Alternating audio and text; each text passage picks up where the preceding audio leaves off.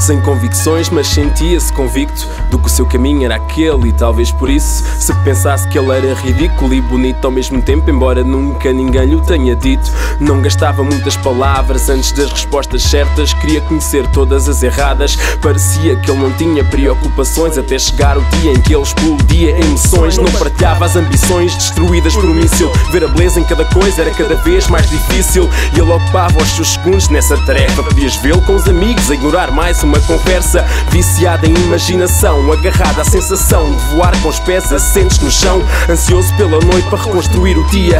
Ansioso pelo que amanhã trazia, dia após dia. Havia quem admirasse a sua filosofia. Mal sabiam que ele achava estúpido definir o modo de vida. Se ele nem conseguia definir a vida, nihilista ou epicurista, cientista ou artista, ele queria toda a liberdade que ele sabe que não existe na jaula em que se tornou a sua forma física. Um dia alguém lhe perguntou pelo futuro e qual a razão por que se vestia de azul escuro. Ele não sabia, é um acaso, uma coincidência, um padrão inexplicado. O azul escuro era como ele, aleatório. Perguntou se lhe ficava bem, responderam que sim, que era notório. Achou engraçado, achou surpreendente, fechou os olhos e riu desalmadamente. Achou engraçado aquele momento, mas depois disto tudo se tornou diferente.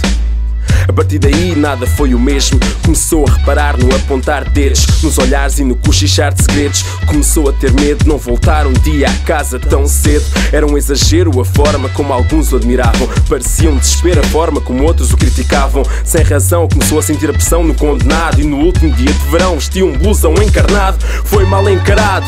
Foi questionado, perguntaram porque é que ele os tinha abandonado. A rapariga do outro dia disse-lhe agora o que vai ser de nós. Tu perdeste a tua voz, deixaste-nos sós, mataste a minha esperança e secaste a minha vida. Tu eras tudo que eu queria, via e tinha. Que outros reclamavam a vitória e declaravam luto. Conseguimos, acabámos com o rapaz de azul escuro. Então, miúdo, parece que estás mudo. Agora já não és assim tão duro. Ele nunca foi duro, ele nunca foi tudo. Não ganhou nada, ele só queria vestir-se de azul escuro. Ele só queria vestir-se de azul escuro. Ele só queria vestir-se de azul escuro. De azul escuro.